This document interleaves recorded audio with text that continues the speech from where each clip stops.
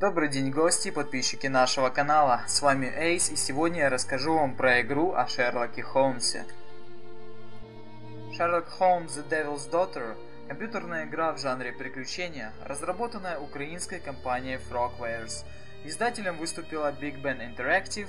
Выход состоялся 10 июня 2016 года на персональном компьютере, а также консолях Xbox One и PlayStation 4.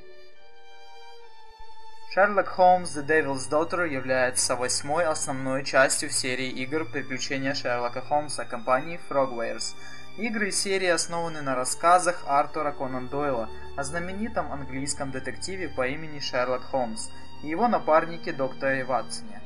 Сюжеты представляют собой как новые истории, написанные авторами, так и воплощенные в формате игры истории из оригинальных рассказов – Предыдущей частью была Sherlock Holmes Crimes and Punishments, изданная в 2014 году.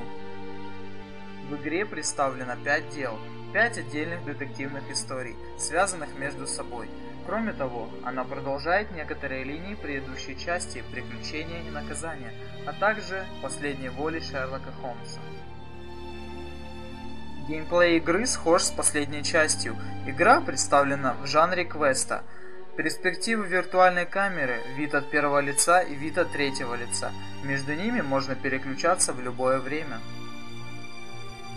В игре необходимо, управляя главными героями, Шерлоком Холмсом и доктором Ватсоном, исследовать локации, общаться с персонажами и строить логические умозаключения в так называемой дедуктивной таблице. Кроме того, как и в предыдущей части, Шерлок имеет возможность осмотреть персонажа и проанализировать его внешний вид, на основе чего сделать точные выводы о нем. Это называется портрет персонажа.